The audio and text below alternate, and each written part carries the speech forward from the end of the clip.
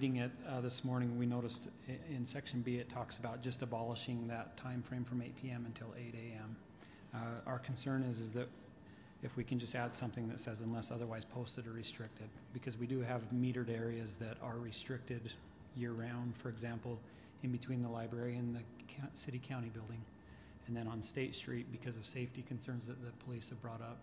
And then uh, we have uh, 15 to 20 other locations throughout the city that the meter parking is signed stating that after hours, it, it's a fifteen minute time frame or a five minute time frame. Um, and by just, uh, adding that, that will protect that, but if we don't, then it kind, it will cause further confusion and frustration for people. Erin? Thanks for paying attention to this. This is the kind of thing where I could see if you, if you weren't paying attention, we could pass something like this. Next year, we were wishing someone like you was paying attention and had help us, helped us give the insight that would make this better. It's a great suggestion. Thank you. Um, Now might be also a good time to mention that the administration has forwarded to the council, and I think you just received it today. Is that correct? The um, updates to the overall parking ordinance that we are going to be discussing uh, once that gets placed on your agenda. And so some of these items might be strange uh, timing-wise, and this is something that we could incorporate into the overall parking ordinance changes at the same time uh, if you're amenable to that. And I think the other uh, issue that you're going to be discussing next could also be a potential candidate to be rolled into the overall parking ordinance um, at that time, doing it all at once as opposed to piecemeal. Council members, are you comfortable with that, including it to the transmittal that we, we received it today? Can I just, Yes, Cindy? we, we've gone back and forth again to the point where we might become schizophrenic soon, because when we put them all together, then it dies of its own weight, because there's so many different components and it's so difficult to deal with. So in an attempt to scoot us forward a little bit, Allison has broken them down into chunks. So maybe we can do a combination where you vote separately on each of the um, components of it, but they're consolidated in one ordinance or something. Just, just so you're aware, it, that's why they're separate right now, is because we failed with the grouping last round. So what you're saying is that we could approve or deny these changes to be included in the new ordinance change? Yes, you could do that, and then, then since they have done a consolidated package, uh, when we bring those to you, we'll try to break them up by issue so that you can do straw polls on each one and go from there. It was just, when you're just talking about them all together, we, we failed at this a few times. We lose good substance. Yeah. Just by way of information, my understanding from previous versions of the transmittal that I saw is that there will actually be some additional uh, changes to the parking ordinance. Most of them are cleanups, but there will be a couple, I believe, that have policy implications, correct? Mhm. That is correct, but I definitely respect and hear what Cindy's saying. I mean, there, you know, if, if, it does tend to get diluted and some things get lost if you, if you include everything. So we're willing to work with you either way, whatever, whatever you want to do. Well, that being said, we hate to make things look less important, so let's go ahead with these and, and then we'll include them with the ordinance that we received, the transmittal. So Okay. straw poll these, the issues on this already.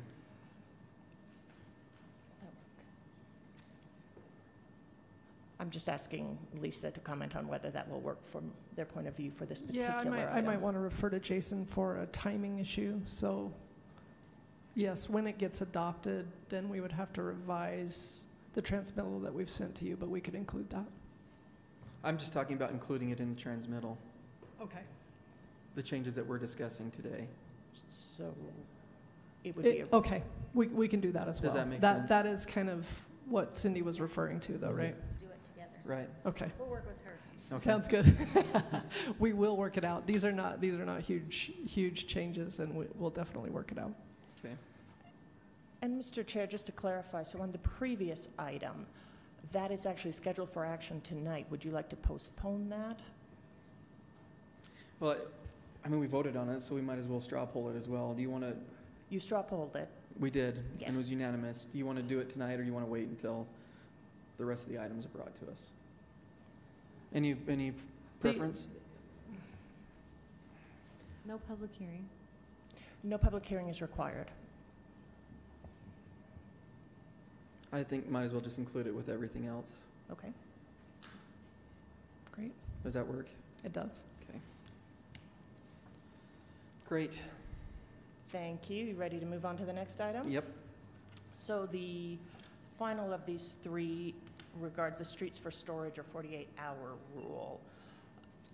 The existing ordinance doesn't allow vehicles, including motorhomes, boats, trailers, to remain parked on city streets for longer than 48 hours.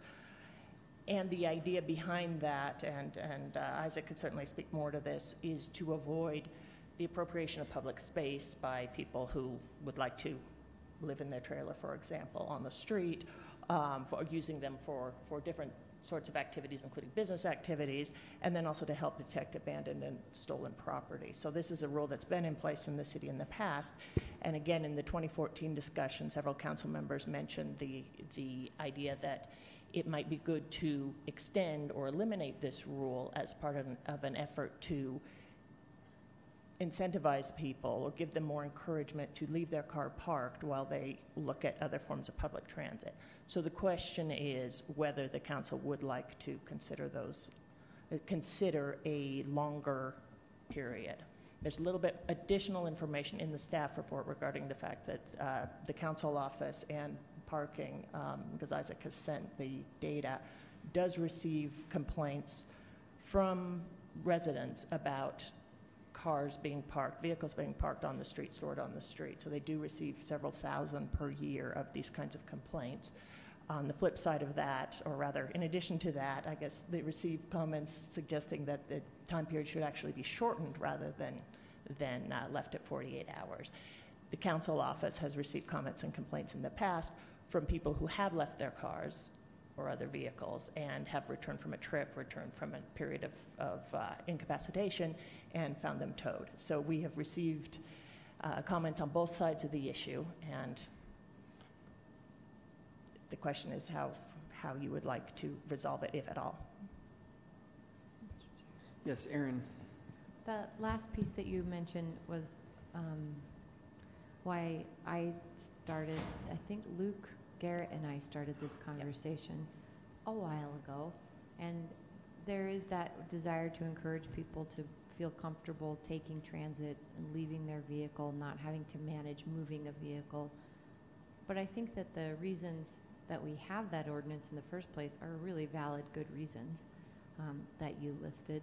And I don't think that they are no longer applicable. But the idea that, and- I've heard, and maybe you guys have heard from constituents too, that I had a constituent whose wife had a baby, there was complications, they were at the hospital, and the last thing they needed was their minivan towed um, when they got home from the hospital five days later. Uh, th- These things happen. People go on vacation, they, they don't have parking. I wish that there were a way that we could allow some kind of exemption, and um, I'm reminded of the mayor's, um, the. In a- lieu of there was- payment? In lieu of payment, yeah, the amnesty. And that, it seems like there are occasions that people need that kind of amnesty, where it could be um, concise enough that one wanting to live in their RV in a, on a chosen block in a neighborhood couldn't just continuously call in amnesty so that they could, they can do that. Um, if anyone has input on how we, we make some kind of loophole on purpose for those occasions, I, that's, that's really what I was getting at. Uh, what, Mr. Mr. Chair, is there any way the city has right now to track certain things like that? If somebody were to call in and say, on? 7th West and 8th South, there's a blue minivan. I'll be leaving there for 48, for 72 hours because of this and this and this. Is there any way to track that at this point? Yes, there is. Easily? Um, so these type of incidents are complaint based. Mm-hmm. So, mm -hmm. um, you know, we don't go down the street and put a notice on cars. So usually a, a resident calls says, hey, this vehicle's been here for 48, 72, up to five days. Mm -hmm. And then we go out and that's when we actually lay a 48 hour notice. And that, that's us giving them an, an additional forty-eight hours to do something with the vehicle. And then if it's not dealt with by that point, that's when it's moved from the block.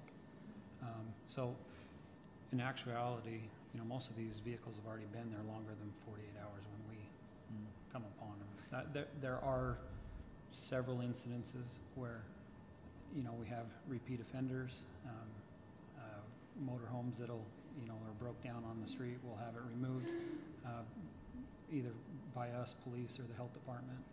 And, you know, a month later, it's back out on the street again, So same- if we- if we dealing with the same thing again. So I'm just thinking if we left this expectation in place of 48 hours, is there a way for somebody to proactively say, I need to have an exemption from this for some amount of time? The city could trace that so that if there was a complaint, it'd be flagged in the system, and say, well, we do have an exemption for that vehicle for this time, whatever it is. W- Our dispatch does track that.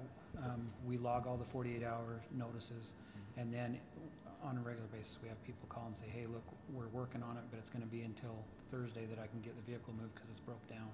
We record that in the, in the complaint uh, Mhm. database and give them that extension.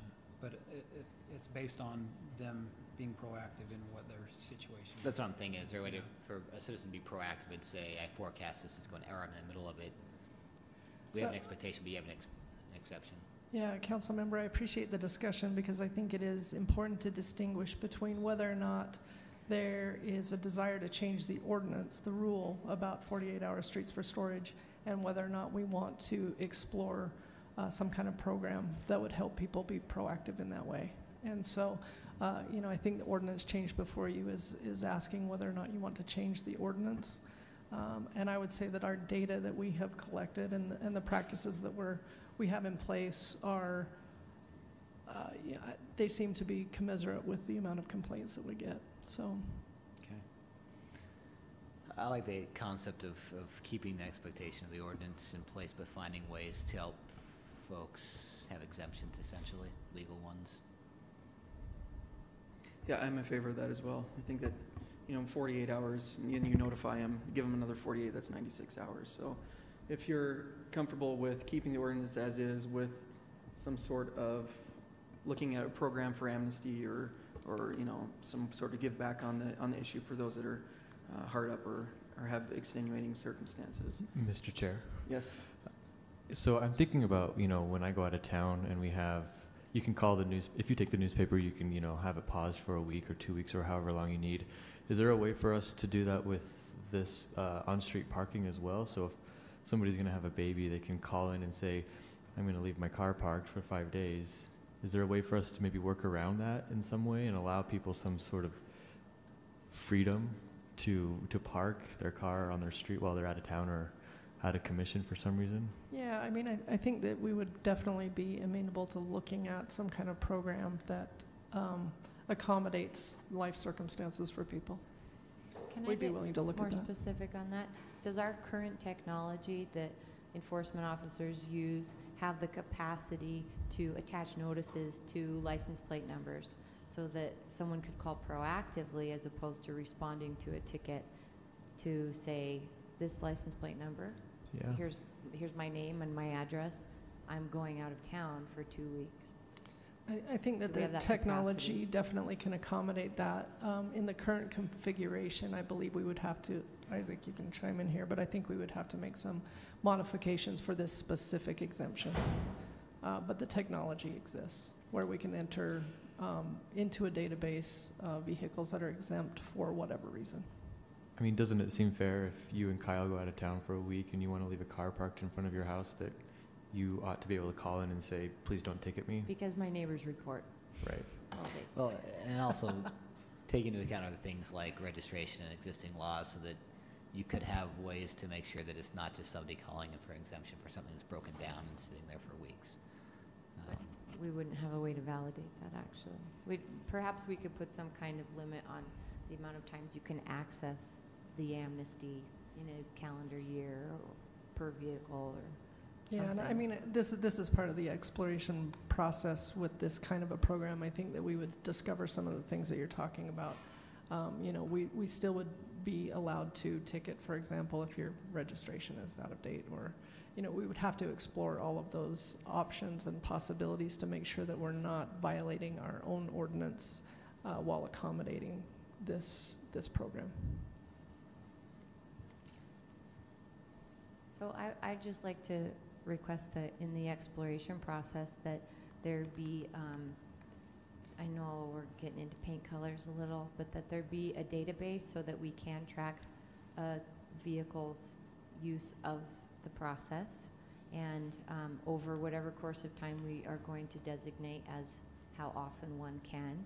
And that we also, um, attempt, at least in the draft, to define the maximum amount of time one can um, request exemption for. And, and you would know, While keeping the same parking ordinance of 48 hours. yes, Okay.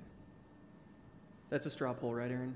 that was a straw Okay, poll. everyone that's in favor of that? Let's clarify again, so. So just keep it in place right now. Are there addendums now that she mentioned that we want to put in, or just? With the intent of looking into. the intent, the- With the okay. program. Correct.